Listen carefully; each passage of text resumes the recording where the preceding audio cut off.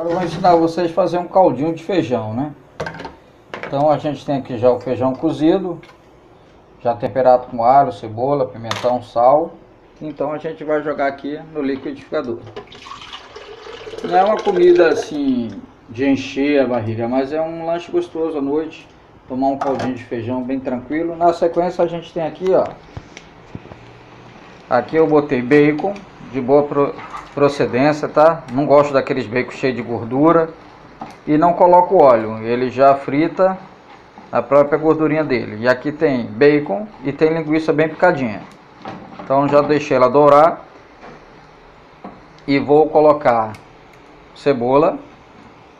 E aqui eu tenho umas, especiarias. Aqui eu tenho todo tipo de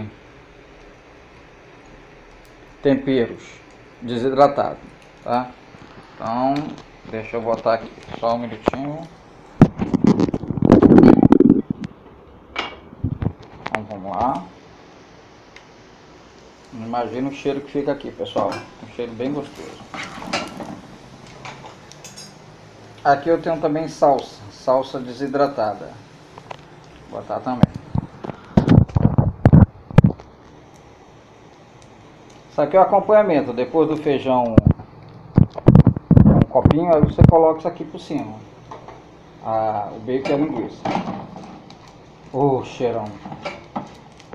Vai ser difícil agora gravar porque eu vou cortar a cebola e botar dentro. Vou dar uma pausa aqui, pessoal.